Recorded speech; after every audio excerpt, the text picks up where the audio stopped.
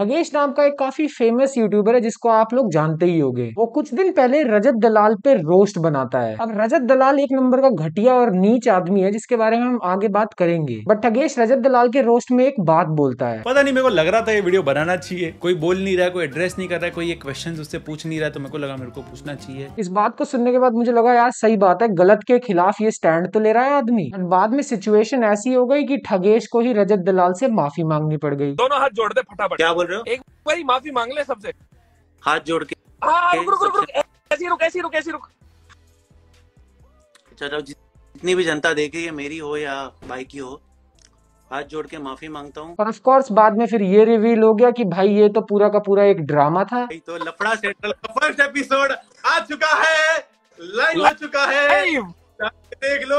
क्योंकि इनका कोई नया शो आ रहा था लफड़ा सेंट्रल करके। मतलब ये चीज़ देखने के बाद मुझे अच्छे से समझ में आ गई कि क्लाउड के लिए कोई कितना भी नीचे गिर सकता है। अजय दलाल एक ऐसा आदमी है जो अपनी गाड़ी को दूसरों की गाड़ी में ठोक देता है। अब उंगली दिखा। तेरे घर के अंदर ही घुसाता हूँ मैं।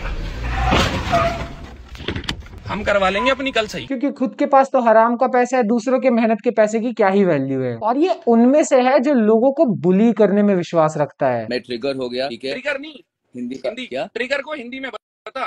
ओके कान कान कर, पकड़ के सॉरी बोल। पकड़ के सॉरी बोलता। कैमरा रख साइड में दोनों कान दोनों हाथों से पकड़। बाल सही कर पहले कर खड़े अरे सुन बहुत टाइम है कंगी लेके। और नीचे जा नी, नीचे टच करना है एक दो तीन चार पाँच छ सात, आठ, नौ। लास्ट वाली होल्ड कर होल्ड कर। मैं दस तक गिनूँगा। एक, दो, तीन, चार, पाँच छ सात, सवा आठ, साढ़े आठ, पौने नौ नौ nine point one nine point two hold रख। Point two five nine point three zero और लोग इस बात पे तालियाँ भी बजाते हैं कि भाई ये तो ऑनलाइन बुली है क्या ज़बरदस्त आदमी है। और ऑफकोर्स रजत दलाल उनमें से है जो बुली करने के नाम पे धर्म का कार्ड इस्तेमाल करता है। तीन बाबा थे घर में थे तीनों मेरे पे अटैक करके मेरे को मार भी सकते थे मार सकते थे पर बात वहाँ पे धर्म की थी।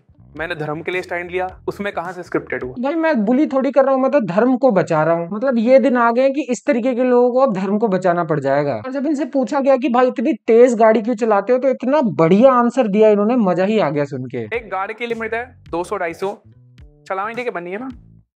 अगर रोड पे अस्सी की लिमिट कहीं लगा दी किसी इंसान ने लगाई है ना ऊपर वाले ने नहीं लगाई। अगर डेढ़ सौ पे मेरा कंट्रोल मेरा फोकस वो है जो एक नॉर्मल आदमी का अस्सी की स्पीड पे होगा तो इसमें मेरे लिए एडवांटेज है ना? वो ऊपर वाले की मेरे पे एक ब्लेसिंग है।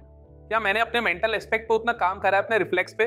कि मैं इतनी जल्दी डिसीज़न मेकिंग ले सकता हूँ कहाँ से काटनी है कहाँ रोकनी है? मतलब इससे हाई आईक्यू आंसर सुने यार जमाने बीत गए। छोटे बच्चे वो मुझसे कुछ अच्छा ही ले पाए। भाई अच्छी चीज़ ये सिखा रहे हैं कि दूसरों की बीवियों के बारे में भद्दी भद्दी बातें कैसे बोलते हैं। भाई आपकी बीवी का शादी से पहले जो बॉयफ्रेंड था ना फ़ोटो के साथ प्रूफ है।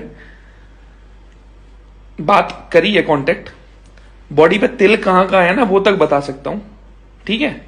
थोड़ी औकात में रहो। अगर मैं अपने गिरे हुए हरकतों पे आया ना तो घर बिगड़ जाएगा आपका। और जिसके साथ शादी हुई है ना सोते टाइम चार बार सोचोगे सो किसके साथ रहा हूँ? ये मेरी बीवी है हाँ? और इनसे ऑनलाइन दिखावटी लफड़ा जितना मर्ज़ी करवा लो। एक लाख अठहत्तर हज़ार लोग देख रहे हैं और भी देखेंगे। पब्लिकली बोल रहा हूँ एक्सेप्ट कर रहा हूँ पीछे नहीं हटूँगा। पीछे नहीं हटूँगा। एक बंद कमरे में केज में रिटर्न डॉक्यूमेंट्स हैं। तुम दोनों मैं अकेले कोई रूल कोई रेगुलेशन मैं। दोनों भाई मेरे छोटे हैं दोनों बैठे हैं यहाँ पे। इनका जो भी मैटर था आपस में वो सोल्व हो गया है। सारी ऊट पटांग बातें बोल के फिर मैटर इनका सॉल्व ही हो जाता है। चलो कम से कम इस चीज़ के लिए इस आदमी को जेल तो हुई थी। भाई सभी को राम राम। मैं रजत दलाल। मेरा व राजवीर सिसोदिया का आपस में एक फाइट का चैलेंज था। कुछ अपशब्द भी बोले गए हैं, एक धमकी की वीडियो भी गई हुई है, जो कि मेरी नादानी की वजह से हुई है। इस भड़काऊ वीडियो और पोस्ट की वजह से झज्जर पुलिस ने मेरे को, मेरे ऊपर कानूनी कार्रवाई की। आदमी यार, टोल ब्रेक कर देता है।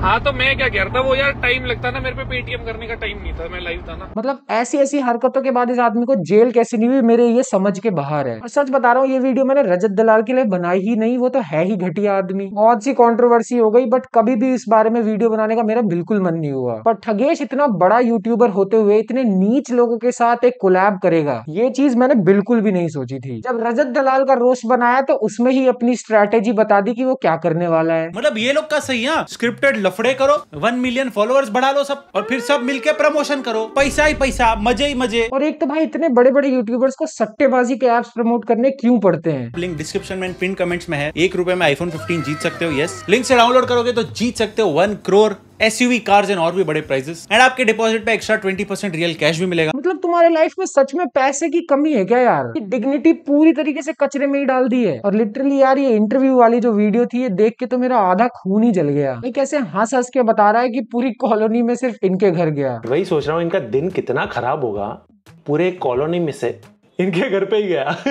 जैसे कितना बढ़िया काम कराओ लोगों को बुली करके। और एक तो भाई ये सट्टेबाजी की एड अरे तो फ्री टाइम में इंडिया का अपना गेम खेल लेना उसमें एंटरटेनमेंट तो मिलेगा ही साथ में लाखों की विनिंग्स भी जाएगी। बंद कर दे भाई प्लीज़ बंद कर दे ये सब। बट बहुत ज़्यादा ज़रूरी था बिकॉज़ ये शो का पहला एपिसोड था इन सबको जानना कि ये शो आ रहा है कि इस शो पे बहुत पैसे लगे बहुत काम लगा इस शो पे। इंपॉर्टेंट था इस शो का पहला एपिसोड अच्छा होना। ओ अच्छा यानी बहुत पैसे लगे हैं तो मैंने गू भी खा लेना अपना चैनल चलवाने के लिए। और भाई ऑडेसिटी इस आदमी की ऐसी ऐसी चीज़ों पे हंसने की। यूट्यूब चैनल बेच दो पचास लाख में। हाँ, उस पर बिटकॉइन की फिर वो चलाएँगे ऐड हाँ।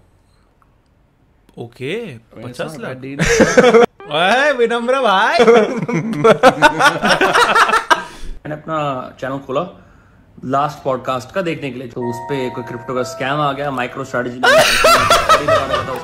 नहीं नहीं नहीं नहीं नहीं नहीं नहीं।